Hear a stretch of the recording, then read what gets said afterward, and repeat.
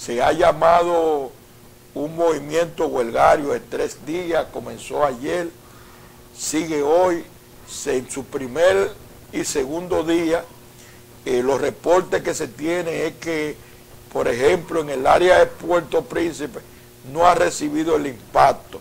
Pero esto es un asunto que tiene que ver, un llamado que hacen alguna fuerza al interior de Haití.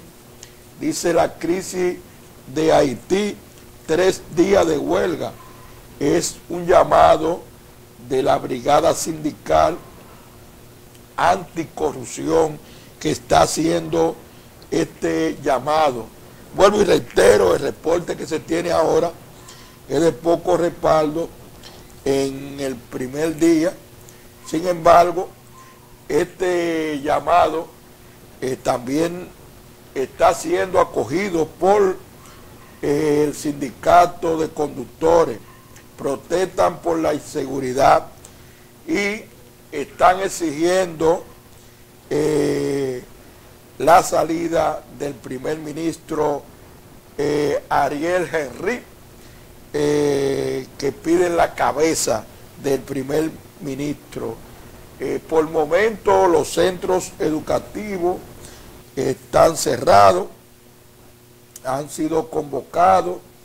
Eh, eh, en Haití ha habido una crisis a partir de el derrocamiento, la muerte del asesinado presidente de Haití, Jovenay Moore, ocurrido el 7 de julio del 2021 a partir de ahí, eh, Haití se vio envuelto en una crisis y todo el que esto ha ocurrido es precisamente por eso. Desde el 2018 Haití está eh, sumergido en casos de secuestro, masacre, eh, ajuste de cuenta y eh, atraco, asalto, eh, sicariatio, que es lo que predomina en este país. A nosotros nos llama la atención que, por ejemplo, en el caso de eh, Philip, que estaba preso en los Estados Unidos, eh, Guy Philip, preso en los Estados Unidos por asuntos de narcotráfico, cumplió condena, fue deportado a su república natal, Haití. Esto es un asunto normal. Cuando un ciudadano eh, de cualquier nacionalidad enfrenta cualquier cargo en los Estados Unidos, una vez cumple su condena, es deportado a su país. Lo que llama la atención que Estados Unidos, sabiendo que hay una situación complicada en Haití, este hombre que estaba preso bajo eh, algunas eh, restricciones, eh, de repente es deportado, llega a Haití y crea un movimiento. Y entre el movimiento implica que pide el, derrocamiento del primer ministro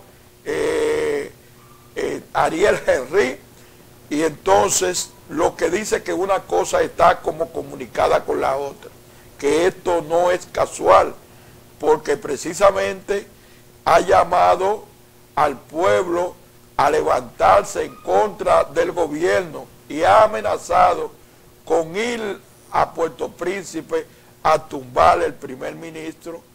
Eh, y está recibiendo mucho apoyo. Hay que recordar que ya eh, Guy en años pasados eh, hizo este mismo movimiento apoyado por la comunidad internacional en el 2002-2003 eh, contra eh, Aristí eh, obligándolo prácticamente a abandonar el gobierno, a renunciar y pedir asilo en otro país. Entonces parece un guigón. Esto parece el mismo guigón. De repente este hombre se aparece, crea un movimiento, ha llamado a la población a la sublevación y dicen que está siendo apoyado por determinados sectores. Entonces una cosa coincide con la otra.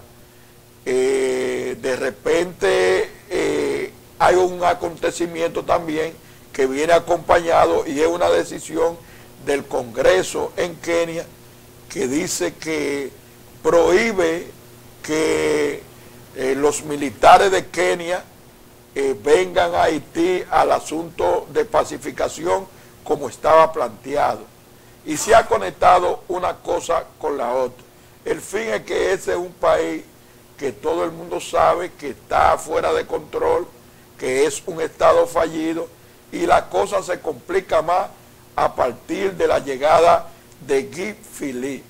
Bueno, vamos a esperar el desarrollo de estos acontecimientos, pero por aquí podría venir un asunto que tiene que ver con otra salida a lo que es el problema de Haití, ya que la comunidad internacional han demostrado que no hay una voluntad de ellos ir en ayuda porque ni siquiera los recursos previstos para que haya un acompañamiento de las fuerzas militares que podría llegar a Haití, ni siquiera los recursos han aparecido.